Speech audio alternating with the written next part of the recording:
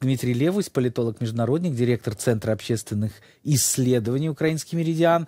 Дмитрий, здравствуйте. Здравствуйте. А, ну, не только нас с вами, мне кажется, вся Европа сейчас гадает, что это произошло с 25-м э, президентом Французской Республики, а, и, и почему он стал таким активным и таким, скажем, такое лидерство демонстрирует в поддержке а, Украины, по крайней мере, риторика его сейчас а, в авангарде.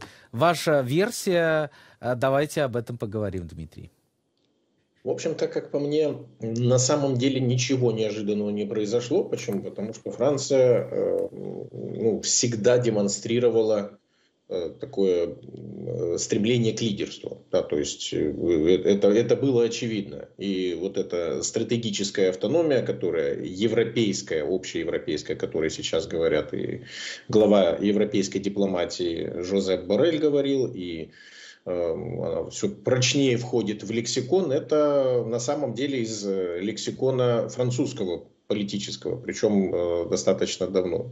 И э, более того, можно вспомнить еще и другое, абсолютно такой, наверное, где-то психологического вещи, да, то есть именно Макрон был тем президентом, который очень стремился остановить э, Путина э, путем переговоров. И, и это выглядело, да, ну, мы помним, да, как перед э, вот эти визиты в Москву, беседы за длинным столом, потом эти звонки постоянные, да, то есть что приводило тоже к разного рода мемам, шуткам.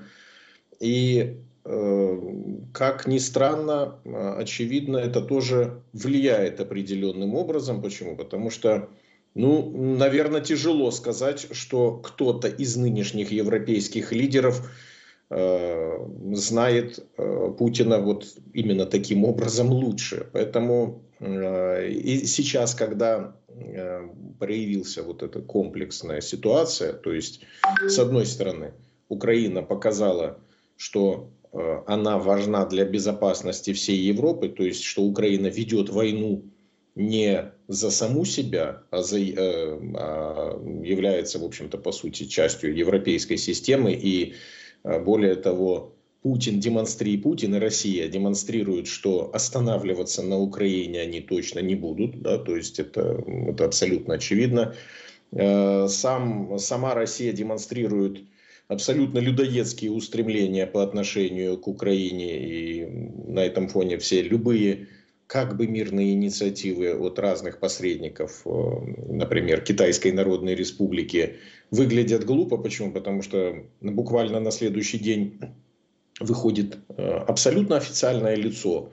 Медведев, бывший президент, ныне заместитель главы Совета Безопасности России и в сталинском э, френче начинает на фоне карты, где нет Украины, рассказывать о том, что Украина это без, без, не, без сомнений, не, несомненно, это Россия. Да? То есть э, на этом фоне, естественно, что э, вот это вот абсолютно логичное и присущее для Франции стремление играть большую лидерскую роль э, в Европе, и э, явная угроза со стороны России, вот она и срабатывает э, э, таким образом, что Франция начинает проявлять вполне конкретную инициативу в сфере безопасности, потому что есть, опять же таки, на что опереться у Украины, на украинский потенциал, и есть потенциал Э, восприятие у ряда стран, которые с этим согласны, да, с, э, такими, с такими предложениями Франции. Ну и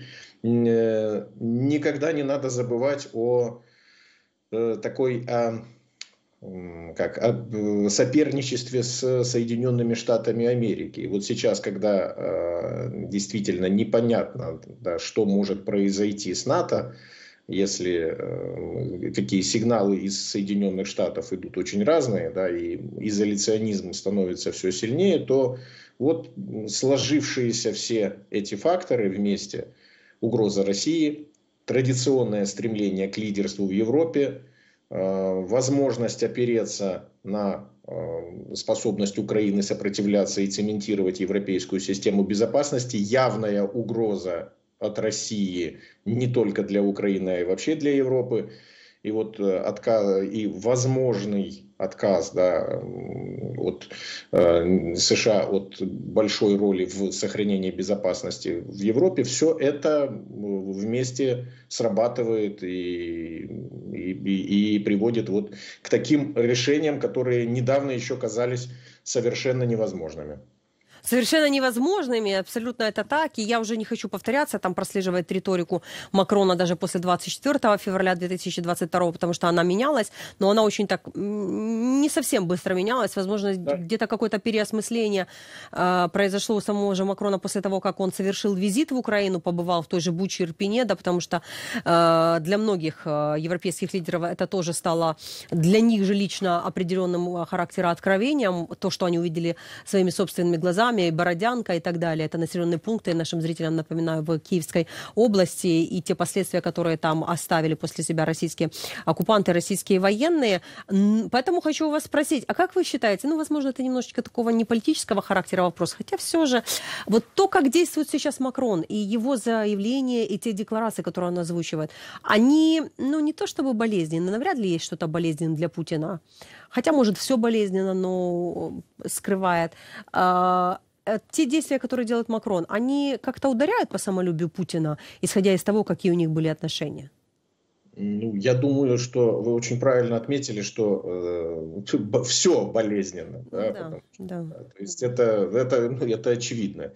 Э, Путин действительно очень самолюбив и уязвимый, и это то, что, то, что иногда что-то скрывается, то, что как оно у него прорывается в виде всяких этих э, Э, шуточек из детских, из советских мультиков и, и из дворового детства, кто так обзывается, сам так называется, это просто ну, это закомплексованное и абсолютно, да, то есть существо, да, то есть это, это, это очевидно. И естественно, что оно болезненно бьет. Более того, э, заявления, которые звучат в ответ, они об этом свидетельствуют. Да, там, скажем, там небольшой может быть какой-то промежуток по времени, пока готовят ответ э, российская пропаганда. Но они это делают. И я думаю, что это тем более, кстати, болезненно, э, поскольку, опять же, исходить из э, психологии Путина вот как, э, как чекиста, да, который ну, знаете, как у Высоцкого, э, как, как, как он воспринимает, да, то есть, понятно, у Высоцкого есть там одной песни, там, он был мне больше, чем родня, он ел с ладони у меня, да, то есть, это, вот, вот эти вот, вот это русскомирское восприятие, как же так, вот он приезжал, говорили, говорили, то есть, он же, Путин это все воспринимал как слабость, и тут вдруг оказывается, что э, опять же, не уследил вот эту эволюцию за два года, которая произошла, и э, вдруг происходит вот такое, да, то есть, естественно, что это очень э, болезненно, то есть, тем более, что э, когда взгляд вот такой русскомирский. Поэтому я думаю, что да, так оно и есть, и, и в общем-то, тут даже традиционный такой, такая ошибка российской государственной машины в том числе. То есть, вот эта вот зашоренность взгляда, которая, ну, например, не позволила понять, э, что никакого СВО не будет, а будет большая война, хотя перед этим 8 лет с Украиной воевали в, на востоке Украины. То есть ну, можно было сделать правильные выводы о, настроя, о настроениях украинцев. И тут точно так же. Э, раз решили для себя, что это слабаки европейцы, и вот эти разговоры, это именно это свидетельство, потом вдруг оказывается, что оказывается нет, оказывается не так.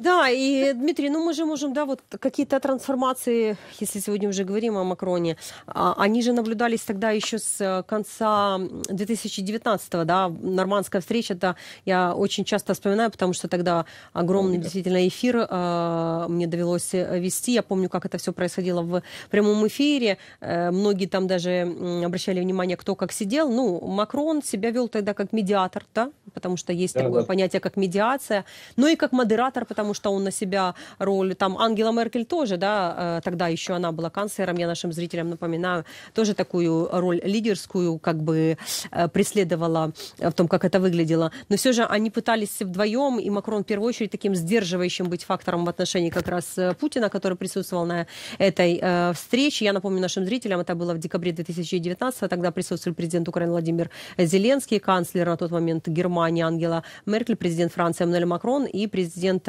э, Российской Федерации э, Владимир э, Путин. Поэтому тогда еще можно было понимание видеть, как, какую роль преследует Макрон. Понятное дело, что он умеет адаптироваться в связи с происходящим, он умеет реагировать на то, что и кто как говорит, и это видно, потому что вот этот фильм, который далее появился, французский, где ему звонит Владимир Зеленский, а он отвечает, это же тоже снимали, и было понятное дело, что когда-то это увидит о президенте Франции, где он уточняет «Ля гер тоталь», то есть тотальная война началась, ну и Зеленский отвечает, что да, это ну, не просто тотальная, это страшная тотальная война.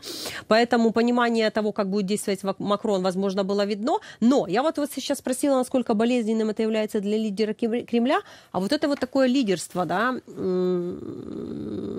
ну, не совсем оглашенное Европейским Союзом, это делает сейчас единолично Макрон и Франция. Как оно влияет на других лидеров политических э, Германии? Я, в частности, давайте будем, да, ближайшее, а то я уже так далеко пошла в 2019 Вот эти ближайшие заявления о том, что говорит Макрон, я сейчас даже не о вводе войск, а то, что он сказал, что э, все-таки э, не боятся России, да, вот эти призывы, не боятся России, которые обращены к Европе, на них есть реакция. Ну вот, в частности, э, есть реакция Писториуса, министра обороны Германии, он отреагировал на эти слова, и что он говорит? Писториус заявил, что призывы Макрона не боятся России не решат вопрос о военной помощи Украине. Вот такая вот история. Как вы считаете, а как реагируют другие лидеры, как реагируют другие страны? Насколько они готовы сейчас уступить все-таки месту, место Макрону и Франции как лидирующей стране в Европейском Союзе в вопросе как раз решающего фактора а, в отношении Украины? Ну, как раз действительно э, многое зависит от, э, от изначального отношения, да, потому что, например, ожидать, э, после, как раз, кстати, после вот этой встречи в Елисейском дворце, где больше 20 стран было, то и заявления что же были соответствующие? Да, есть было заявление Словакии о том, что э, словацкие войска никогда не будут да, на территорию там, Украины, то есть не примут участие в этой операции. Были другие заявления, да, то есть, э, э, то есть ну, во-первых, было очевидно, что есть консолидированная позиция нескольких стран, и не только Франции, с которыми, в общем-то, э, этот вопрос уже проработан, и, и будет э, коалиция тоже, а не только коалиция дальнобойной артиллерии.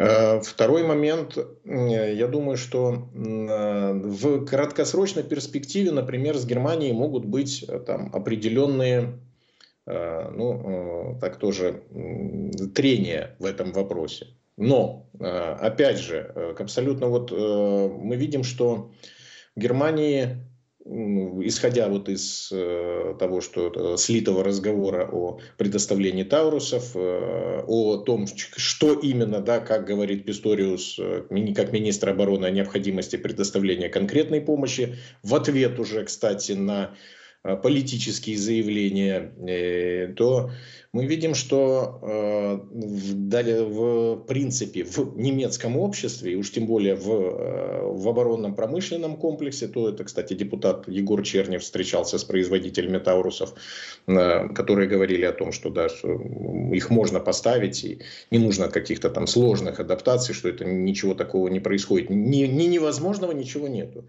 Вот есть позиция военных, которые тоже считают, и есть э, неопределенность в политическом поле, то э, я думаю, что в дальнейшем это э, приведет к соперничеству, но к соперничеству именно относительно поддержки Украины. Э, потому что ну, генеральная линия вот этими заявлениями сформирована, и можно вспомнить ситуацию, как вот в европейских институциях. И, и Шарль Мишель, и Урсула фон дер Ляйен, они симпатики Украины. И у них где-то есть определенное соперничество, есть да, определенные нюансы, но в, вот по большому счету это, это позитивно. И тут, я думаю, тоже э, в таком, на стратегическом уровне это повлияет позитивно относительно поддержки Украины. Дмитрий, э, в заключение давайте немного к самой из Франции. Э, Макрон-то понятно, э, но у них, к счастью, демократия. И в 27 году, три года еще ровно остается весной 27 года, Эммануэль Макрон прекратит быть президентом, он не имеет права из- переизбираться, два срока, а, это второй срок президентский. Насколько эта политика может быть продолжена а, французскими элитами, учитывая, что довольно значительную часть французских элит составляют не просто правые консерваторы, а, скажем так, люди, для которых Э, вот как для нас Украина по Натусе, так для них Франция, и они не очень хотят вмешиваться э, в войны и конфликты. Это действительно мнение многих французов. Да, ну, начнем с того, что на самом деле пока что действительно э, есть все-таки больше о заявлениях мы говорим, да, то есть и, ну, и, ну, есть и конкретные шаги, да, относительно вот финансирования покупки тех снарядов, которые, которых, которые нашла Чехия, да, где-то, то есть еще, и, ну, то есть какие-то, да, мы можем говорить о том, что намеки на движение есть, да, то есть, поэтому э, я думаю, что это на самом деле проблема же не только Франции, и мы э, с этим должны быть постоянно да, к этому готовы. То есть вот, э, выборы в Европарламент, которые сейчас пройдут, тоже посмотрим, как они могут изменить э, ситуацию. Можно э, выборы в разных странах, да, то есть поддержка, конечно, может колебаться, конечно, может поменяться, но если, я думаю так, что если политика европейских стран, вот если она определена на определенный момент, то потом еще остается еще и инерция да, определенным образом, которая, э, которую поменять достаточно сложно. Ну и однозначных э, радикальных изменений э, такого плана, я думаю, не произойдет. К сожалению, опять же, еще и потому, что Э, война не прекращается, и она как экзистенциальная угроза тоже будет восприниматься. И э, я думаю, что все меньше будет иллюзий относительно того, что всю ситуацию можно прокрутить назад и э, снова нормально общаться с Путиным, с Россией. Поэтому я думаю, что тут мы увидим такой определенный дрейф у очень многих политиков, ну, кроме тех, кто явно жрет с ладони у Путина. Да, это, это точно. Спасибо, Дмитрий. В любом случае, очень интересный поворот, и будем наблюдать за этим. И, конечно, для Украины э, критически важно, чтобы э, лидер такой большой и важной страны, как Франция, был э, как минимум за нас. Да, и это действительно очень важно. Спасибо, Дмитрий, за этот разговор. Политолог-международник, директор Центра общественных исследований «Украинский меридиан» был у нас в эфире. Оперативные новости, эксклюзивные видео, аналитические обзоры. Фридом в Телеграм, только проверенная информация. Обязательно подпишитесь. Будьте в курсе всех событий. Ссылка на наш Телеграм в описании.